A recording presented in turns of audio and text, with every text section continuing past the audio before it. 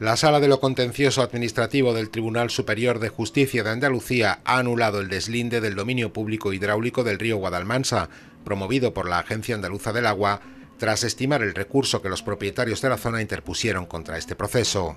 La sentencia da la razón a los vecinos y además condena a la Junta de Andalucía a pagar las costas judiciales. El deslinde propuesto por la Agencia Andaluza del Agua podría haber afectado a numerosas hectáreas de plantaciones agrícolas, viveros, hoteles y promociones inmobiliarias. Numerosos propietarios de los términos municipales de Estepona y Benavís decidieron aunar esfuerzos contra este proceso al comprobar que podían perder sus propiedades en los márgenes del río. Varios años después, el TSJ les ha dado la razón, dictando una resolución similar a la que tuvo lugar hace años en el río Guadiaro, en San Roque, cuando también estimó un recurso de los afectados frente a la Administración Autonómica, según informó el despacho de abogados Azancot y Asociados, que ha defendido a los vecinos en ambos casos.